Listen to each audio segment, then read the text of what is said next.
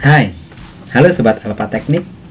Saya Rafael senang rasanya bisa berbagi ilmu dan pengalaman kepada rekan-rekan sekalian khususnya di bidang elektronika. Dan di video kali ini kita akan memasang modul MP3 Bluetooth ke tape kompo jadul dengan merek Sony. Bagaimana cara pemasangannya? Namun sebelumnya bagi rekan-rekan yang baru di channel Alpha Teknik ini, silahkan klik tombol like dan subscribe untuk mendukung saya agar saya lebih semangat lagi dalam membagikan trik-trik atau cara-cara perbaikan elektronika yang ada di sekitar kita. Oh iya, bagi rekan-rekan yang berdomisili di Klaten maupun Jogja bagian timur yang memerlukan jasa perbaikan elektronik dapat menghubungi saya melalui Facebook dan Instagram di sini atau search lokasi Alpha Teknik Service Elektronika Rumah Tangga melalui aplikasi Google Map. Oke rekan-rekan, langsung saja kita pasang.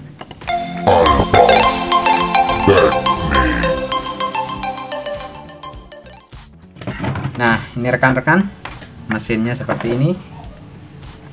Nah, kita akan mencari inputnya pertama kita mencari inputnya. Nah banyak rekan-rekan yang masih belum tahu cara mencari inputnya. Nah pertama kita pasang dulu speakernya kiri dan kanan. Lalu pasang power supply-nya. Nah ini power supply-nya sudah terpasang. Lalu nyalakan nah sudah nyala kita pilih radio coba. Nah itu rekan-rekan sudah ada suara desis radio. Lalu kita posisikan ke tape.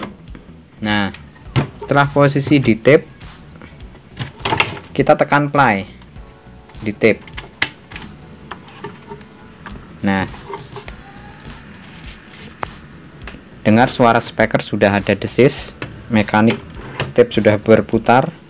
Ini. Sudah berputar lalu kita sentuh-sentuh inputnya. Nah di sini bisa menggunakan input dari head ini. Nih. Input dari head. Bisa juga kita cari inputnya melalui saklar. Nah saya akan bongkar aja ini ya nah ke rekan-rekan nah mesin utamanya PCB nya sudah saya bongkar seperti ini. Lalu kita cari saklar pemindah radio tip tadi. Coba kita lihat di casingnya. Casingnya di sebelah sini saklar pemindah radionya. Berarti kalau ini gini ini saklar pemindah radio tipnya yang ini. Nah kita nyalakan. Lalu rekan-rekan tekan play di tape nya ini. Posisi saklarnya kita pindah ke tape dulu. Nah ini ini radio. Kita pindah ke tape. Nah sudah pindah ke tape. Lalu rekan-rekan tekan play di mekaniknya. Karena jika tidak ditekan play maka ini posisi standby. Jadi tegangan untuk ke ampli dan ke motor mekanik tape-nya itu uh, standby posisinya tidak terhubung. Nah kita tekan play. Nah otomatis ada suara desis ampli bekerja. Nah rekan-rekan tadi sudah melihat saklarnya untuk pemindah tip radio adalah di sini ya. Nah di saklar itu pasti ada ada inputnya. Nah input sebelah kiri mana sebelah kanan mana caranya kita sentuh-sentuh dengan jari. Jika berdengung sebelah kiri speakernya berarti input sebelah kiri. Nah ada dengung di sebelah kiri sana. Sekarang cari lagi. Nah yang ini sebelah kanan Oh berarti ini dan ini ya rekan-rekan. Nah untuk memastikan kita cek lagi lebih teliti dengan obeng seperti ini kita pegang seperti ini yang mana kan ada banyak ini titiknya. Nah yang ini ujung sini.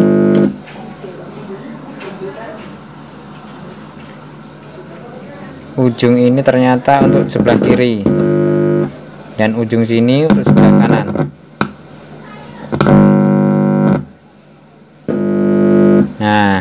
berarti kita akan pasang inputnya di sini ya rekan-rekan. Nah oke saatnya kita pasang kabelnya untuk input. Nah karena kabelnya biasanya kurang panjang kita sediakan kabel yang panjang. Cabut dulu. Nah kita akan sambung.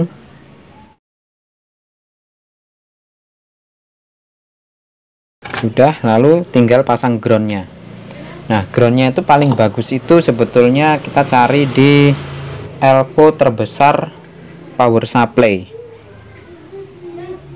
Di minusnya. Kalau tidak kalau tidak dapat ya paling mudah ya cari aja di minus elko sekitar sekitar saklar sini atau atau ground terdekat saja. Nah ini rekan-rekan elko terbesar di area sini nah ini elko untuk power supply nya nah saya akan ambil groundnya dari sini saja dari minusnya. Nah tapi rekan-rekan harus hati-hati juga. Ada beberapa tip yang menggunakan catu daya atau power supply uh, simetris yaitu tegangan min dan plus. Nah itu jadi rekan-rekan harus hati-hati. Jangan kalau tegangannya yang simetris jangan ambil ground dari situ. Kalau nggak tahu tegangan min groundnya yang mana jangan ambil dari situ ambil ground terdekat saja di dekat body. Biasanya nempel di ini heatsink heatsink seperti ini biasanya terhubung dengan ground. Bisa ambil dari situ. Kalau anda tahu groundnya untuk tegangan simetris yaitu di kaki tengah pertemuan antara elko plus dan elko min tapi saya rasa rekan-rekan akan pusing jadi yang termudah saja. Nah, ciri-ciri nah, tegangan simetris adalah ada dua elko terbesar yang kembar nilainya. Nah itu biasanya tegangan simetris. Nah. Kalau tegangan simetris main ground plus. Nah sudah rekan-rekan kita sudah berhasil mendapatkan inputnya. Coba kita tes sekali lagi kita colokkan. Nah lalu kita sentuh coba kabelnya. Berdengung sebelah kiri berdengung sebelah kanan. Dan ini groundnya. Oke saatnya kita mencari uh, power supply nya untuk modul. Nah kira rekan untuk supply tegangan modul MP3 Bluetooth itu membutuhkan tegangan 5 sampai 12 volt tidak boleh lebih dari itu tapi saya rekomendasikan di atas 9 volt jadi 9 sampai 12 volt maka modul akan bekerja maksimal Nah, cara mencari supply-nya seperti saya sering bilang di video-video cara memasang Bluetooth modul Bluetooth ke beberapa tips sebelumnya di video channel ini juga. Kita mencari elko terbesar di area ini. Ya. Nih. Kita temukan tadi yang saya sudah pasang untuk ground adalah elko terbesar di sini. Ukurannya 2200 mikro 16 volt ini terbesar di antara semuanya elko elko ini terbesar dia berarti ini elko filter atau perata untuk tegangan tip ini nah kita lihat elko nya ada di sini. Ya. Anda jangan salah untuk plus minusnya. Saya akan lepas dulu supaya nggak salah. Nah. Elko plus minusnya. Elko minusnya selalu mempunyai tanda ya seperti ini ya. Nah minusnya di sini.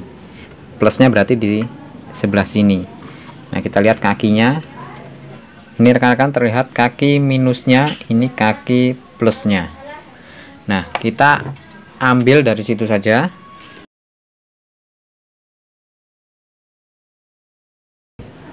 Ya sudah. Nah, lalu kita ukur tegangannya yang kita ambil tadi dari elko terbesar kita ukur skalanya kali 20 saja karena tadi elko nya 16 volt jadi tidak mungkin melebihi dari 16 volt yang positif oh tadi saya kasih yang biru ya positif ini positif dan negatifnya kita lihat tegangannya ada berapa Nah, ada ini 9,6. Nah, jadi ini aman. Jelas aman untuk memasang modul ini, untuk supply ini. Anda tidak harus menurunkan tegangannya. Tapi jika di atas 12 volt, rekan-rekan tetap harus menurunkan tegangannya bisa menggunakan IC 7812 saya sudah pernah membuat videonya cara menurunkan tegangan sesuai kebutuhan. Ada di channel ini atau bisa klik ini ada link yang muncul ini. Bisa klik rekan-rekan. Nah coba kalau kita pasang langsung aman tidak?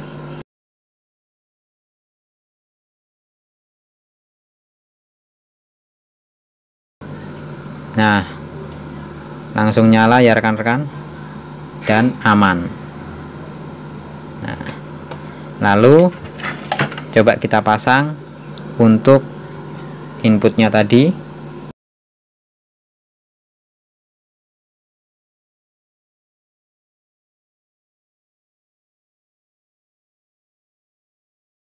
nih kita tes lagi.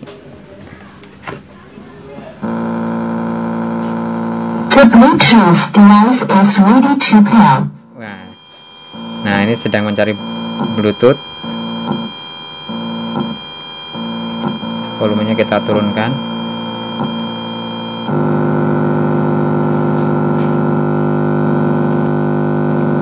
Ini masih ada suara noise-noise seperti ini karena kita belum rakit dengan rapi.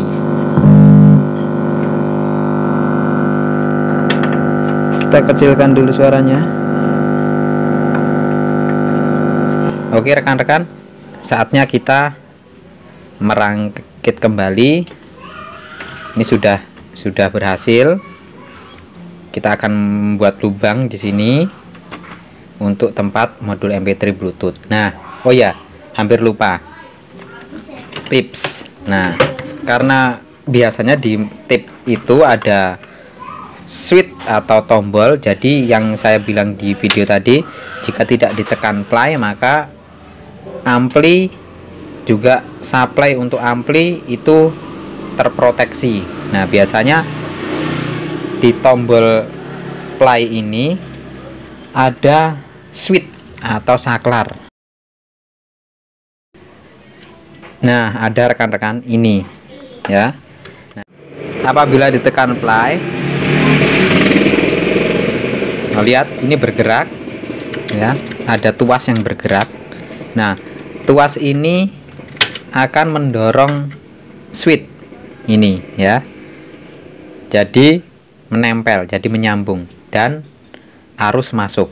Nah switchnya ini nah caranya gimana? Kita jumper langsung saja rekan-rekan. Langsung kita jumper kasih T0 seperti ini. Lalu kita kembalikan lagi. Nah udah rekan-rekan. Nah oke okay, begitu saja.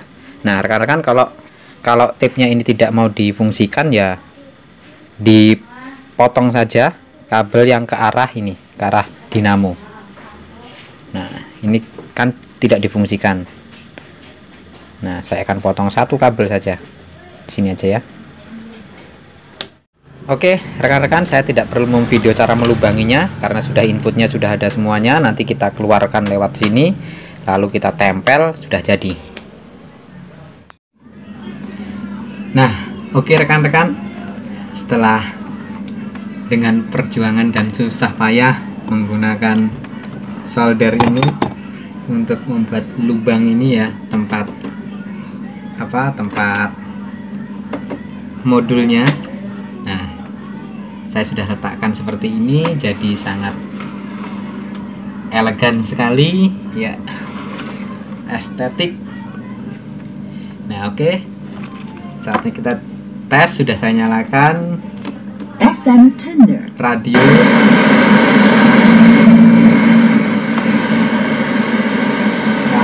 aux input model. aux dan The Bluetooth device is ready to pair.